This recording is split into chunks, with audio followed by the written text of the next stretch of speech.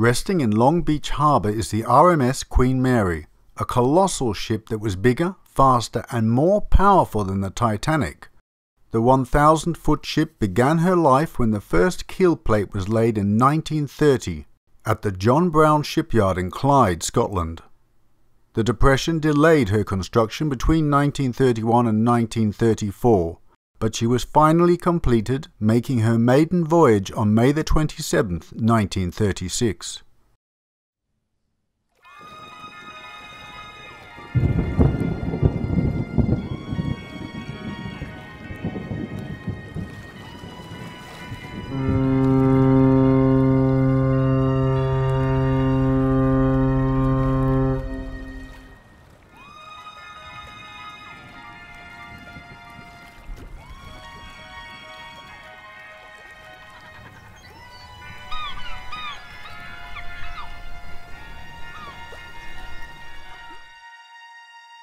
For three years, the Grand Ocean Liner elegantly glided through waves with the world's rich and famous, including the likes of the Duke and Duchess of Windsor, Greta Garbo, Clark Gable, David Niven, Mary Pickford, George and Ira Gershwin, Sir Winston Churchill, and many more notable names. Considered by the upper class to be the only civilized way to travel, she held the record for the fastest ever North Atlantic crossing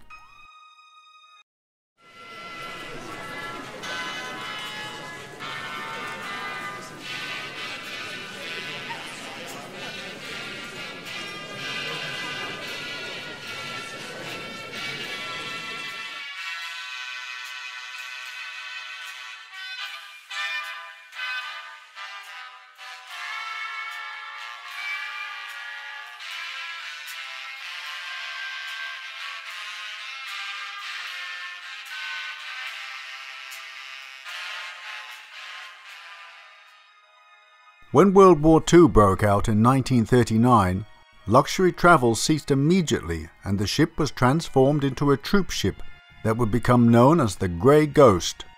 During this time her capacity was increased from 2,410 to 5,500. By the end of World War II, the ship had carried more than 800,000 troops, travelled more than 600,000 miles, and played a significant role in virtually every major Allied campaign. She also survived a collision at sea, set the record for carrying the most people ever on a floating vessel, and participated in the D-Day invasion.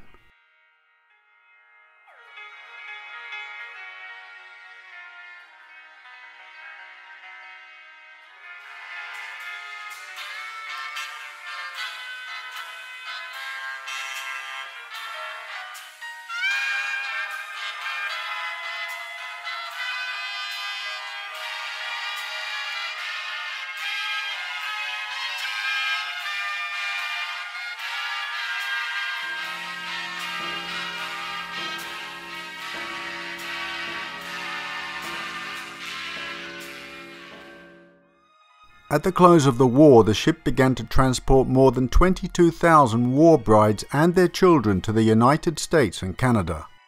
Known as the Bride and Baby Voyages, she made 13 voyages for this purpose in 1946. Its duty to the war complete, the Queen Mary was refurbished and resumed her elegant cruises in July 1947, maintaining weekly service between Southampton, Cherbourg and New York.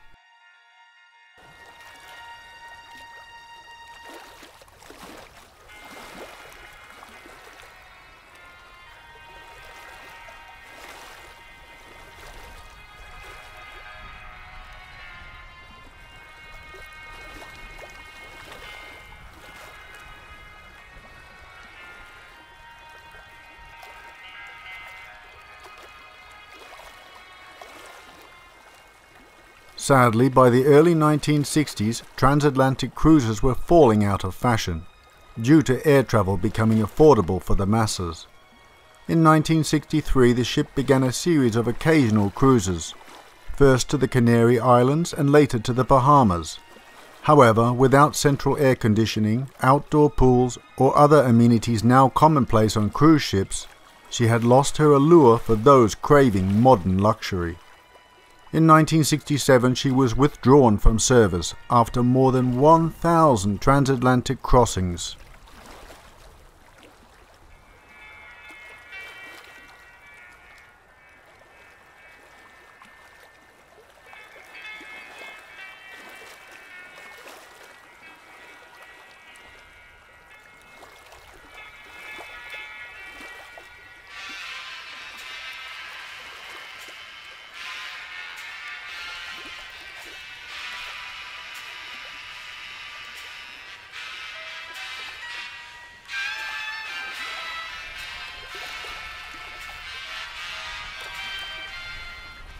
That same year, the Queen Mary was sold for nearly $3.5 million to the city of Long Beach, California, for use as a maritime museum and hotel. On December the 9th, 1967, she made her final voyage to Long Beach. After 1001 successful Atlantic crossings, she was permanently docked and soon became the luxury hotel that she is today. This historic floating hotel attracts thousands of visitors every year. It has also attracted a number of unearthly guests over the years. In fact, some say the Queen Mary is one of the most haunted places in the world, with as many as 150 known spirits lurking upon the ship. Over the past 60 years, the Queen Mary has been the site of at least 49 reported deaths, not to mention having gone through the terrors of war so it comes as no surprise that numerous disembodied guests and workers continue to walk within her rooms and hallways.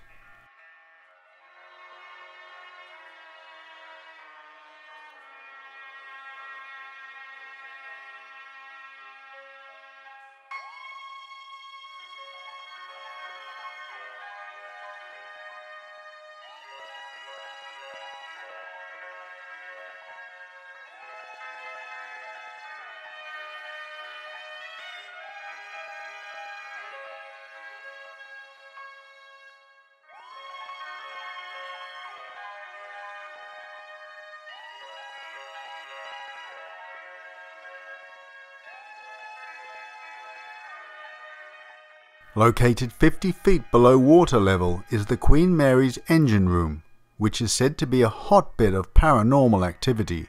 Used in the filming of the Poseidon adventure, the room's infamous Door 13 crushed at least two men to death at different times during the ship's history.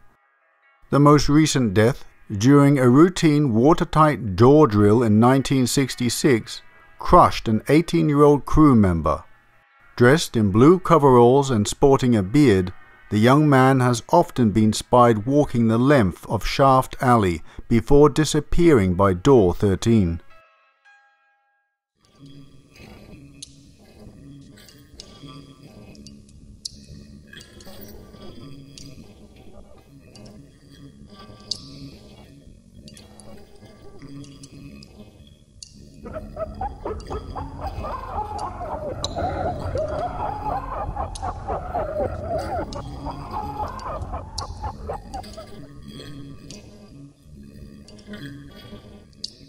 Two more popular spots for the ship's other spirit guests are its first and second class swimming pools.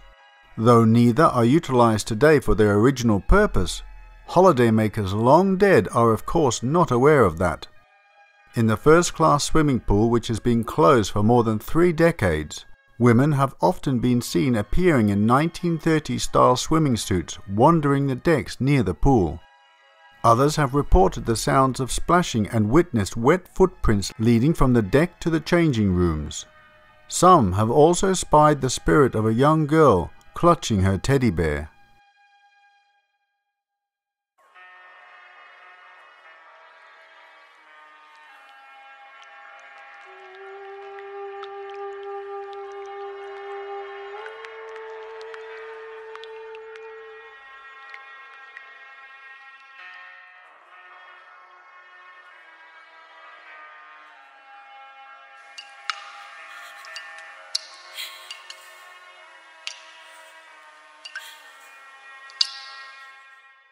In the second class pool room, the spirit of another little girl named Jackie has often been seen and heard.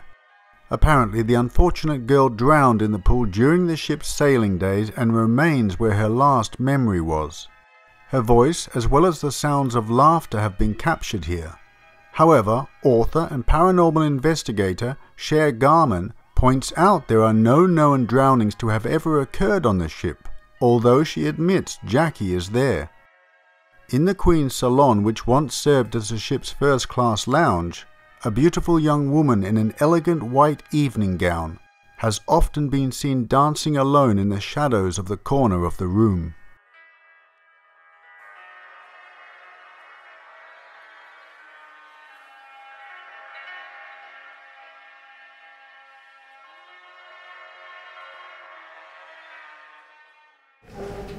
Yeah, Madison, you concessions, so everyone's quiet.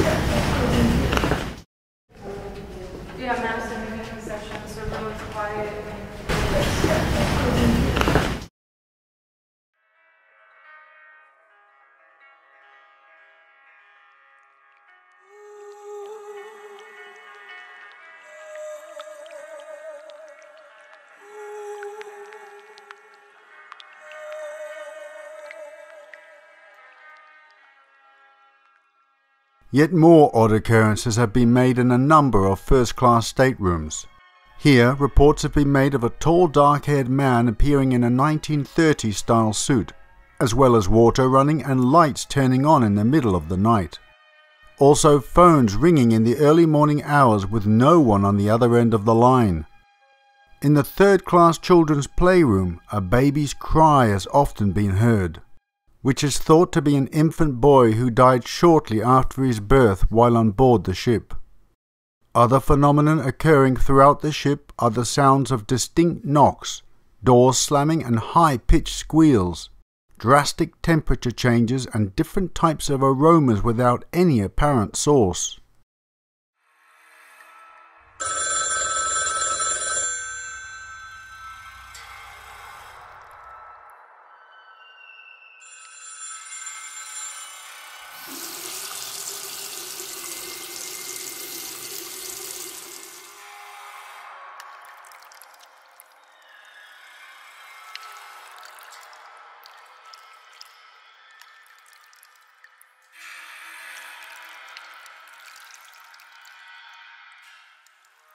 Recently, the ship's most haunted room, stateroom B340, has been renovated and reopened as part of the hotel.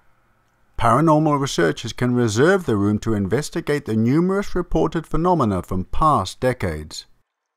It has been closed for over 30 years, the general manager at the Queen Mary said.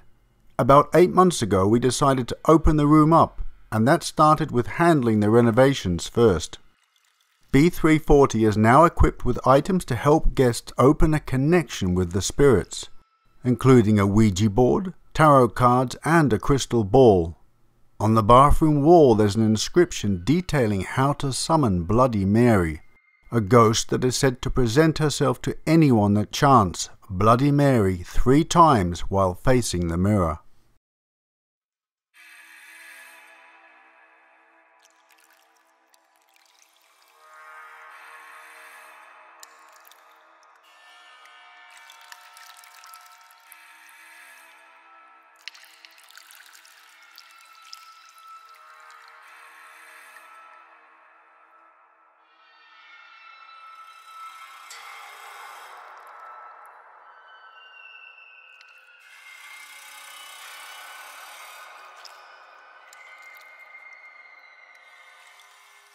It was closed for so long because of all the negative experiences that have happened in there. Some of the paranormal phenomena even caused people to leave the ship at times in the 70s and 80s, when the ship was new to Long Beach. Ghostly manifestations in the room have ranged from minor encounters, including knocking on the walls or door in the middle of the night, the sink faucet turning on and off by itself, or the bathroom door creaking from side to side to more personal encounters including seeing a figure looming over the bed, or hearing ghostly voices trying to engage in a conversation with the guests. There are times when certain feelings will overcome your body while you're on the ship, he said. This room happens to be one of those.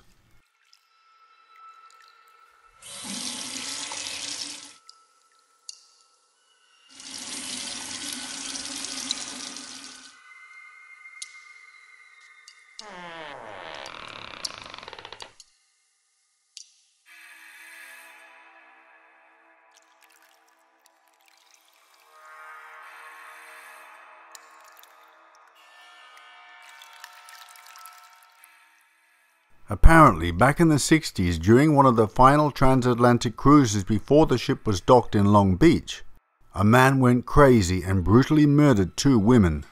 His crimes were discovered and he was locked in the third class stateroom, either B222, B224, or B226. The door was locked and a guard was posted outside. A little while later, he started pounding on the door saying someone was in there with him, trying to kill him. The guard ignored him, thinking it was a ruse to escape.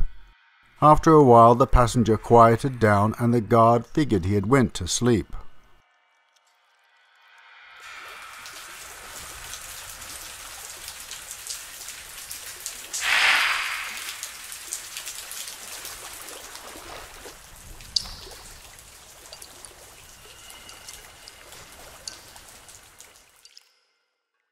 The next day, when the ship arrived in New York, the crew summoned NYPD detectives and they went to apprehend the murderer. When they opened the door to the stateroom, they found the man had been ripped apart and his entrails and limbs spread all over the room. Forensic pathologists have determined he could not have done this himself.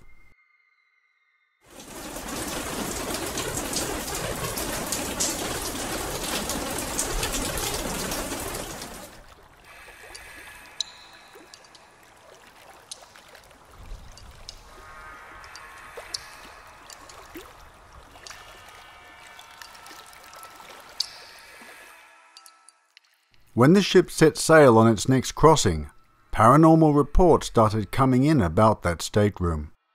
When it was docked in Long Beach in 1967, the three third class staterooms were combined into the larger guest room B340, and the reports continued.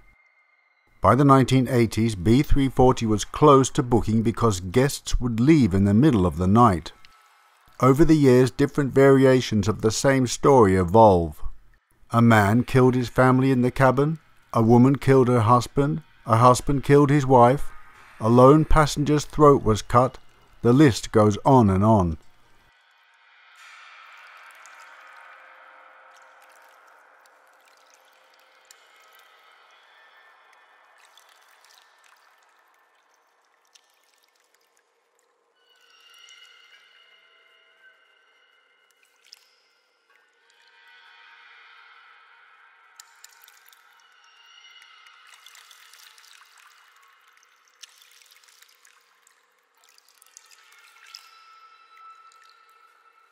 For some reason, nobody can trace back exactly what happened.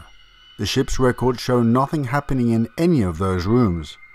Did the ship owners decide to omit detailing this terrible tragedy in their records? Or is it just legend? If it is legend, one thing is for sure the paranormal activity in that room and the rest of the ship is very real.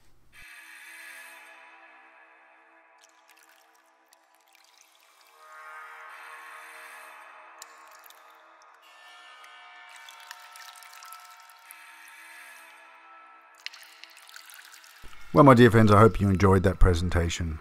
I hope you enjoyed our cruise together. Who's still full from the buffet? I couldn't eat another morsel.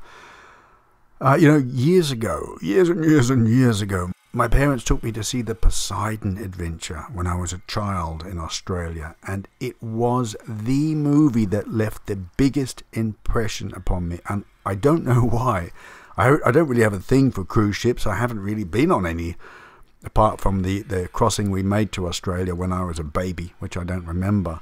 But that movie just, yeah, it just blew me away. It really did. Um, and watched it quite a few times since then. And then later years, when I was sort of preteen, my sister bought me a sort of compendium of weird events throughout history. And in it was the story of the Titanic which at that time had not been found, and it absolutely fascinated me. You know, that just I locked onto that. And do you remember back in the 80s? I think was it 88 when they found the wreck in two parts there, and they had a I think it was like an hour special with Telly Savalas hosting it, where they were looking at the items they had found. I mean, I was glued to the screen. This was I was in my element, you know, and to this day. I'm still fascinated with the tragic story of the Titanic. I made a few videos on, on my YouTube channel in the early days. Uh, it's just all that elegance, you know, all those the opulence of the ship and the, the decadence of the people on it, uh, all the rich and famous, and just whoosh, down it went. It, there's just something about it uh, which fascinates so many people. I, remember um, all through my childhood years, we had, you know, the photo albums, back in the old days of photo albums, uh, which I still think are wonderful things, you know. Having them on an iPhone or an i or a laptop, it's just not the same. And my mother had this old postcard of the ship that we emigrated on. And in the early days of the internet, you know, you were starting to discover what happened to things and just starting to discover the names of songs you heard for years you never knew the title of. You know what I mean? And uh, I just did some research and I found out that that ship that we travelled on uh, had uh, crashed onto rocks, uh, had been sort of stuck there for years, and then they finally stripped it for scrap. Um, and I told my mum that, you know, she was quite, yeah, quite sort of shocked to hear that, quite saddened in a way, you know, these these memories. Uh, and that got me sort of looking uh, later in later years at videos of sunken cruise liners. It's sort of a lifelong fascination for me. I don't, as I say, I don't know why.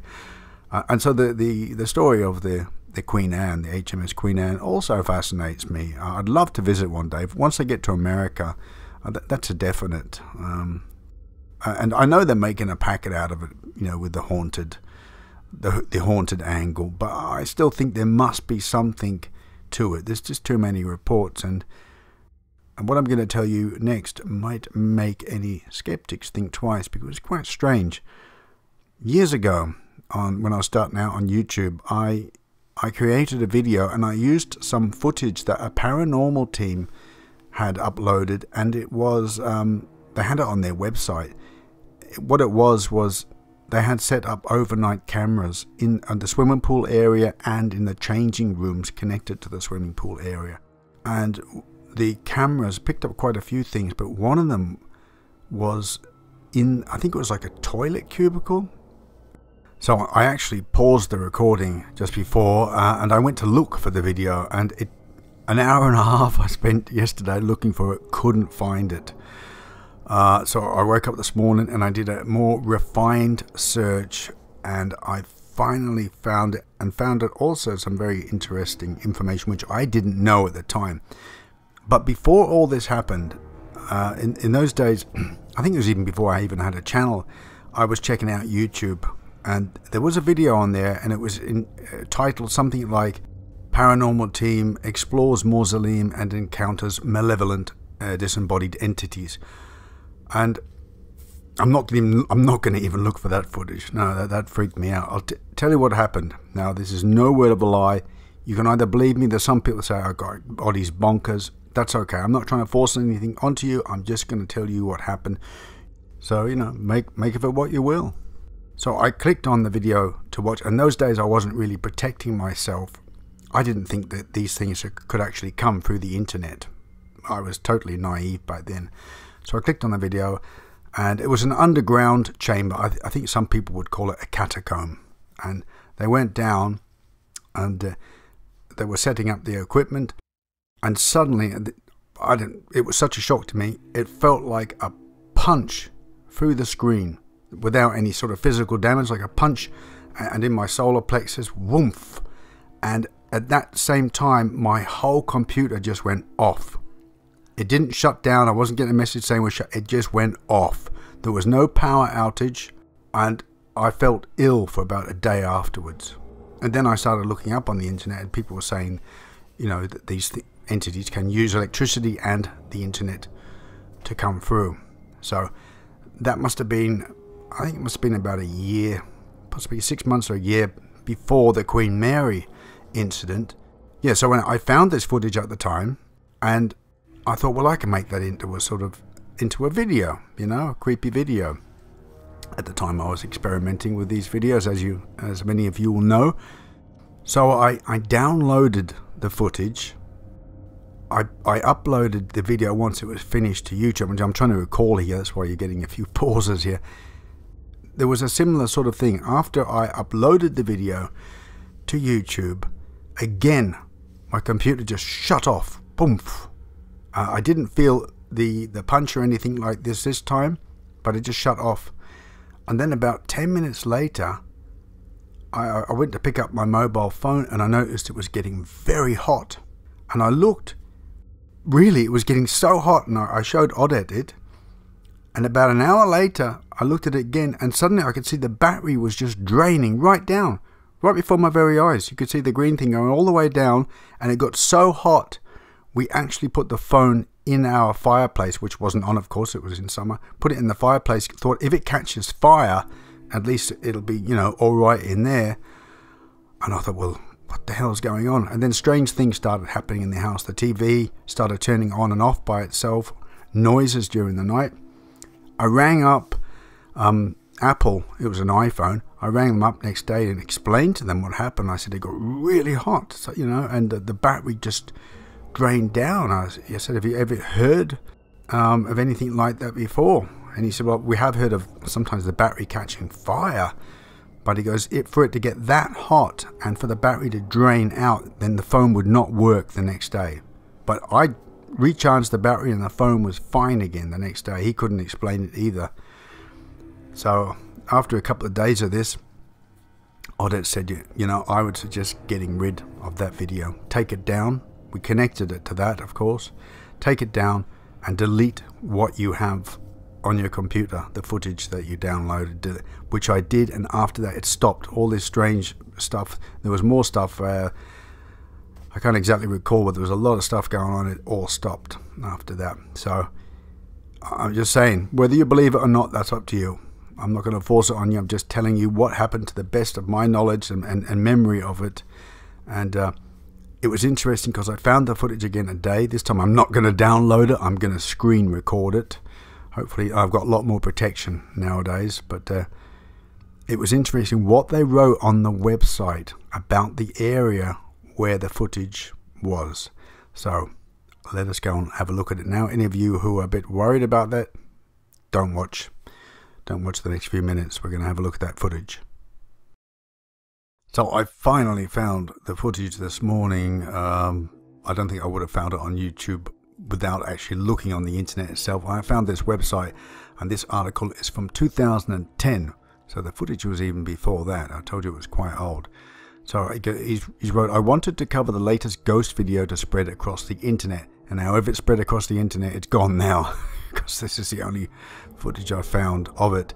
And I knew it was from a you know a paranormal research association. It wasn't sensational like a lot of videos are. I mean, I trawled through hundreds yesterday with teenagers with wide eyes, and I slept in the haunted room, you know that sort of stuff. But th this was a you know a serious research team. Um, so the pool is supposedly one of the most haunted areas of the old luxury liner and has the ghost of a little girl who frequents it. Frequents it. I can't speak. And has the ghost of a little girl who frequents it while the changing stalls, which I believe is the portion of the video, has a negative energy vortex in it. I didn't know that at the time. I really didn't know that. In fact, I didn't. It's only now making this video that I've really looked into the to the Queen Mary. I have read a few things about it. I didn't know that that there was a negative energy vortex connected to that part. So the video portrays a, a, video recorder with night vision on and apparently the operator is fumbling around and catches the ghost sitting in the stall. And as the camera pans away, it seems the ghost was starting to stand. The viewpoint is skewed, the camera is shaky and it's a fleeting glimpse shot. We have talked about this before on here on GT and to be brought up again as it appears the ghost's eyes are reflecting the night vision uh, IR. So is this a ghost? Infrared, that is. So is this a ghost? I can't help but to kick. I can't help but to cook around the reflecting eyes, which is the most telltale part of the video. Can a ghost reflect back infrared light? Obviously, a ghost can reflect light, or else it wouldn't be seen, but would its eyes? The ideas of reflecting eyes is a stumbler for me, as it would seem to suggest a solidity in the apparition it would be just easier to call this a hoax, uh, and he thinks most likely it is. I'm not so sure about this since what I experienced, since the video appears produced for the beginning portion of it, yet I would be disappointed by it since I visited the APRA website. That's the, um, I'll have a look in a minute, uh, who, they, who they are again. and looked through some of their pictures and found them quite believable. And I did too. I found the team to be, you know, quite serious. It was nothing sensationalistic about about their uh, videos.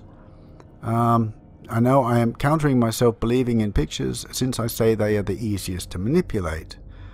So, here's the video in its entirety, ghost or hoax. Now, as I say, I'm not saying it's real, but I do know what happened to me when I downloaded the footage.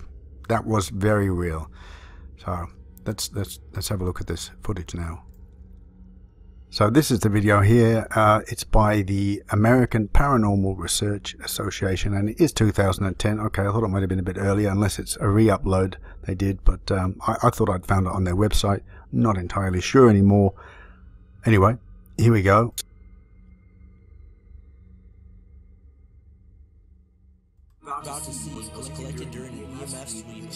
So, electric magnetic field sweep.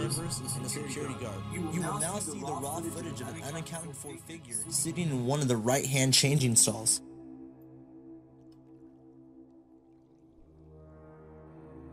Strange, it keeps stopping all the time. Sorry about that.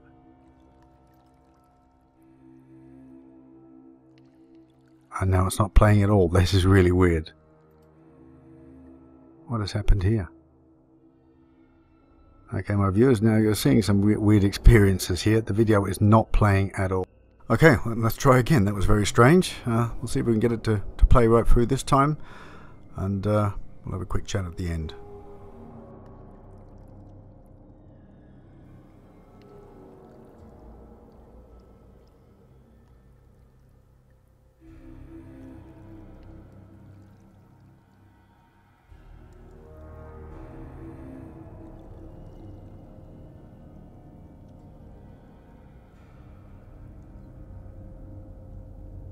Know, actually, that video doesn't show very much, and I don't think that was the video. I recall that the shot showed the figure like crouching, and it was from an, an, an angle sort of nearly directly above the, the whatever it was in the stall, and it blinked. Its eyes were reflecting, and it blinked, and it was crouched. That that is not the footage I meant also the footage that I watched was taken from a static camera. It wasn't someone holding it. it. And I do remember I read at the time it was cameras that they'd left. They had positioned them in the changing rooms and had left them there overnight.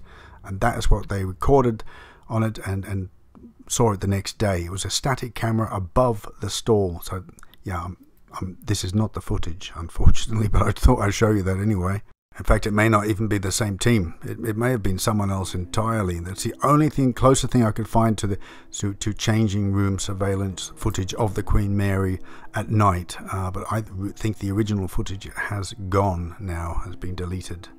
100% positive that was not the footage that I've just showed you. Uh, yeah, the figure was actually crouching down, looking up, and, and blinked, and uh, that that's that was the footage that uh, caused all that uh, problem. I cannot find it if anyone finds it out there, I'll be very grateful. But I don't think it's somehow I don't think it's on the internet anymore. In some ways, I regret deleting the footage, but uh, I didn't. I didn't regret it at the time. I can assure you.